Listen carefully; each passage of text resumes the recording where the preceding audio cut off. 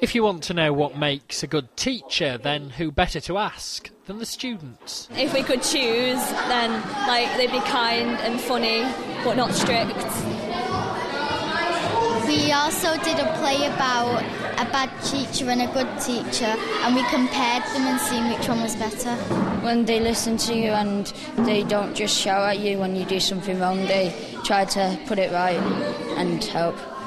And they have to be fun and creative, not just listen and write lines all the time and everything, just like get more practicals in.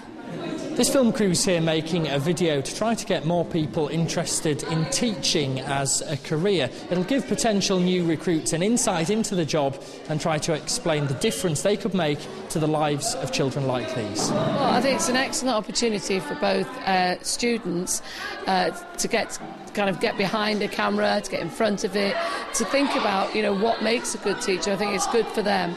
They they have great confidence and they thoroughly enjoy doing it, and it's great for their self esteem. They notice a lot more in the classroom than, than you would expect.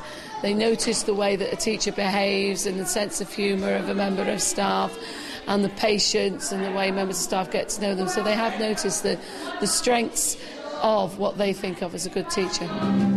Teaching is amazing,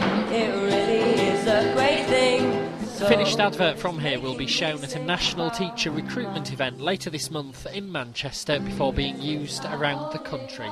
It might even get used on national TV.